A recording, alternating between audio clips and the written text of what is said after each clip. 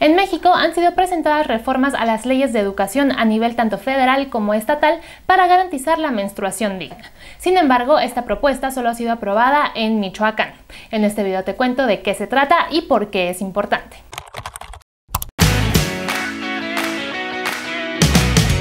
Esto es una toalla menstrual y aunque debería ser un producto común y corriente, muchas mujeres o personas menstruantes siguen ocultando, por ejemplo, las toallas o los tampones o las copas menstruales cuando las tienen que utilizar. Además, en México hay niñas, adolescentes, mujeres y personas menstruantes que no pueden comprar toallas ni tampones y mucho menos copas menstruales, que son más caras que una toalla sanitaria. Y por esta razón, su derecho de acceso a la educación, su derecho de acceso a la salud, el número de oportunidades laborales que tienen y la equidad de género se ven afectadas. Y es precisamente en este contexto que surgen las iniciativas de menstruación digna.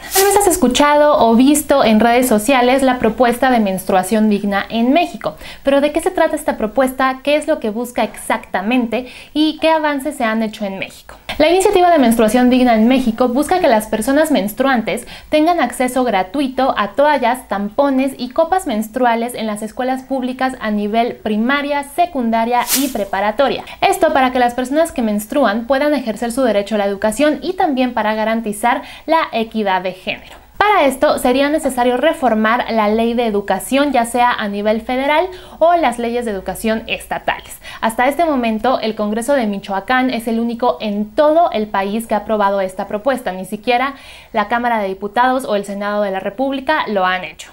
Además, hay organizaciones y colectivos como el colectivo Menstruación Digna en México que también apoyan esta propuesta. Este colectivo, por ejemplo, busca que los productos de gestión menstrual sean gratuitos, también que no tengan IVA, el impuesto al valor agregado, y que el gobierno genere datos al respecto. Porque, por inverosímil que parezca, en este momento ni el gobierno de México ni institutos como por ejemplo el INEGI generan estos datos. Estos datos son necesarios para saber qué está pasando en el país con las personas que menstruan y cómo la mala gestión de la menstruación está afectando tanto el derecho a la educación de las niñas, adolescentes y mujeres y también otros ámbitos de su vida. Pero regresemos un poco para entender qué es la menstruación digna y por qué es importante. Ok, lo primero que tenemos que hacer en este punto es definir el concepto de pobreza menstrual. Este concepto se refiere a la falta de acceso a productos sanitarios, educación sobre higiene menstrual, inodoros, instalaciones para lavado de manos y gestión de residuos que repercute en la educación y en la economía de las niñas, esto de acuerdo con las legisladoras que impulsan la reforma a la Ley General de Educación para incluir esta iniciativa en materia de gestión menstrual.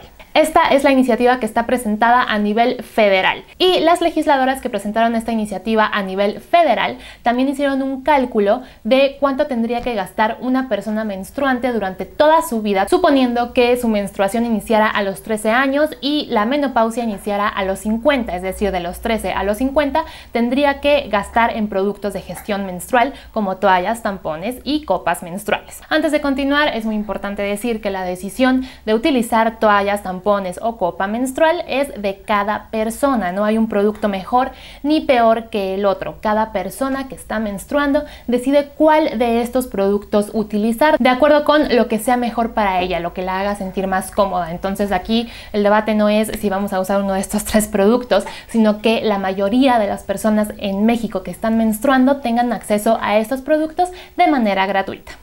¿Y por qué? O sea, realmente esto supone un gasto exorbitante en la vida de las personas que tienen que utilizar estos productos. Bueno, pues de acuerdo con esta iniciativa de reforma, el cálculo que hacen las legisladoras es el siguiente.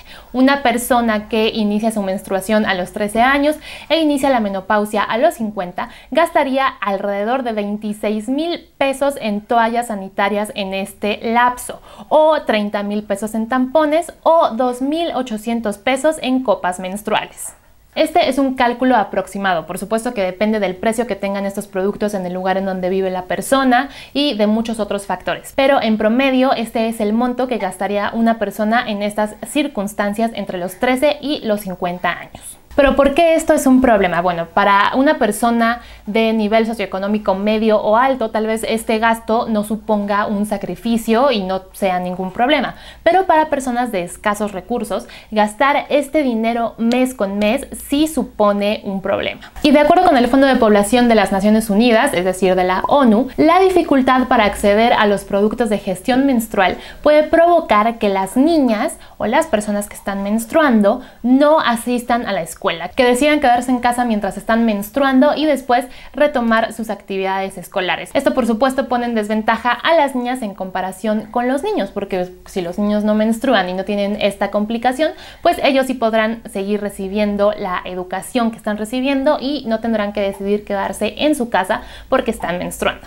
Además, en esta propuesta de reforma también se habla sobre la concepción que hay sobre la menstruación en la sociedad, la forma de enseñar este tema en las escuelas y lo que provoca esto en la vida de las personas que menstruan. De acuerdo con esta iniciativa, la incorrecta comprensión del periodo menstrual, unida a la pobreza, resulta en malas prácticas de higiene, infecciones vaginales y falta de espacios adecuados para una gestión saludable. Es decir, si seguimos viendo a la menstruación como un tema tabú del que no podemos hablar como algo que es malo y que es sucio, pues entonces ¿cómo podemos esperar que haya espacios adecuados para las niñas en las escuelas de cualquier nivel?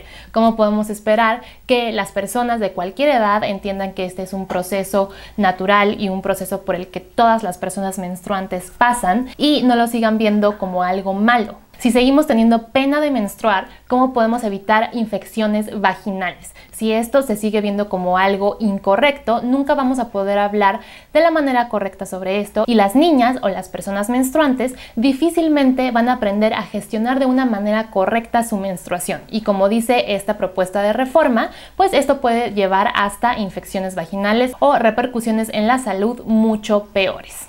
Entonces, además de que esta reforma de ley sí propone el acceso gratuito a toallas, tampones y copas menstruales, también propone un cambio en la manera en la que se explica este tema en las escuelas. Ahora que sabemos de qué se trata la iniciativa de menstruación digna, vamos a ver en qué estados se ha aprobado esto y cuál es el estatus de esta iniciativa en otras entidades y a nivel federal. Como les dije al principio de este video, Michoacán es el único estado que ha aprobado la iniciativa de menstruación digna. Esta fue aprobada el 2 de marzo de 2021, es decir, hace casi dos meses en el Congreso Estatal.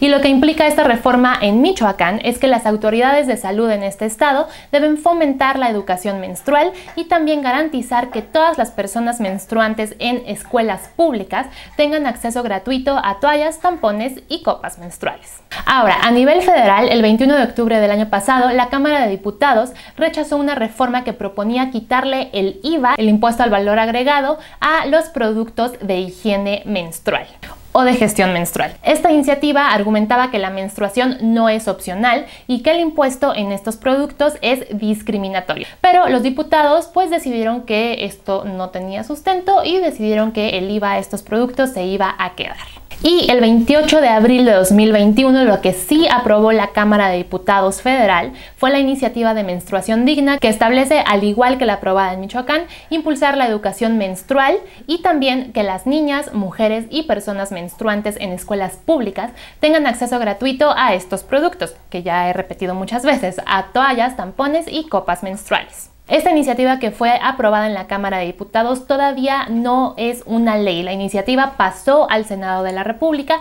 en donde tiene que ser discutida y votada. Una vez que el Senado la apruebe, si es que la aprueba, esto pasaría al presidente para su eventual promulgación. Entonces, aunque sí la Cámara de Diputados ya aprobó la iniciativa de menstruación digna, esto todavía no es una ley. Todavía queda bastante para que esto sea publicado en el diario oficial de la federación y con esto entre en vigor como una ley. En otros estados también han sido presentadas iniciativas de este tipo. Por ejemplo, en Veracruz fue presentada la iniciativa de menstruación digna el 11 de marzo pasado, pero todavía está siendo discutida. En el Estado de México, una iniciativa similar fue presentada el 17 de marzo pasado y también está en discusión. El Congreso de la Ciudad de México también recibió una iniciativa similar el 22 de octubre de 2020 que propone que la Secretaría de Salud Capitalina regale estos productos a cualquier persona los necesite. Sin embargo, esta tampoco ha sido aprobada. Lo que sí fue aprobado en el Congreso de la Ciudad de México fue que las mujeres privadas de su libertad tengan acceso a estos productos de manera gratuita. Esto fue aprobado en el Congreso Capitalino el 29 de abril pasado. Y eso es todo por este video. Esto es lo que se ha aprobado a nivel estatal y federal sobre las iniciativas de menstruación digna. ¿Qué te pareció? ¿Ya conocías esta iniciativa? Y si no la conocías, pues ¿qué piensas sobre ella? ¿Te parece que es importante o no? Por favor, déjanos todos tus comentarios aquí abajo porque nos gusta mucho saber qué es lo que piensas. Y pues bueno, muchísimas gracias por ver este video y nos vemos la próxima semana con un video nuevo. El impuesto del valor forma que